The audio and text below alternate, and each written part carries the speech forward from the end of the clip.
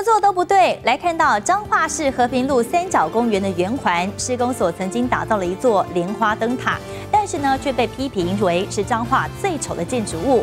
后来拆掉，铺上人工草皮，就越变嫌像极了坟墓一般，还一度成为晒狗场。迎接农历新年，施工所最近设置了一座金龙花灯，没有想到再次被嫌太老气了，看起来张牙舞爪，很不吉利。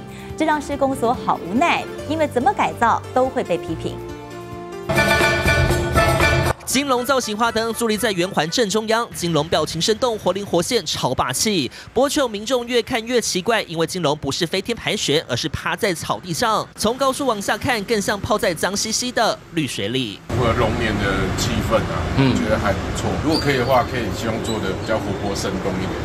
不要这么老气。彰化三角公园从改建至今一波三折，一路被嫌丑。从最开始的莲花灯塔被批评为最丑公共艺术，好不容易拆除了，留下底座铺上草皮，又被说像坟墓，甚至一度成了晒狗场。如今放上金龙花灯，增加喜气，一样又被嫌弃批评太老气。金龙张牙舞爪的，很不吉利。这里是彰化很重要的地标。